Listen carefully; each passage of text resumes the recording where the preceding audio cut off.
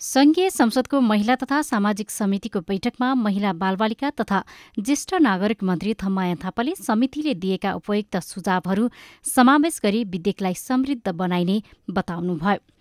ज्येष्ठ नागरिकको संरक्षण र सामाजिक सुरक्षा गर्दै उनीहरूको ज्ञान सिप क्षमता र अनुभवका आधारमा सम्मानपूर्वक जिउने वातावरण सृजना गर्नु राज्यको दायित्व भएकाले विधेयक समय सापेक्ष संशोधन गरिने थापाको भनाइ थियो।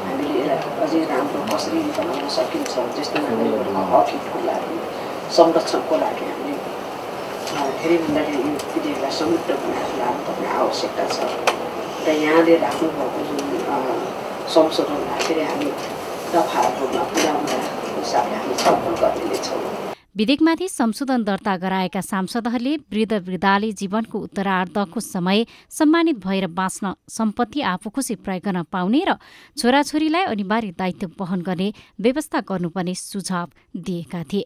उमेरहतका कारण चल अचल सम्पत्ति चलाउन पनि समस्या पर्ने भन्दै उमेरको सीमा हटाउनु पर्नेमा संशोधनकर्ताको जोड थियो। हाम्रो आफ्नो पैतृक सम्पत्तिलाई बाँचिन्जेल अब सक्दै सक्दैन भने त त्यो आफ्नो छँदैछ। तर साठी वर्षमा युवा जोस हुन्छ। नब्बे वर्षकोले राजनीति गरेर संसारमा राष्ट्रपति प्रधानमन्त्री हाम्रै देशमा छ भने साठी वर्षको यो वञ्चितमा चाहिँ सबैभन्दा हटाउने मेरो अनुरोध छ।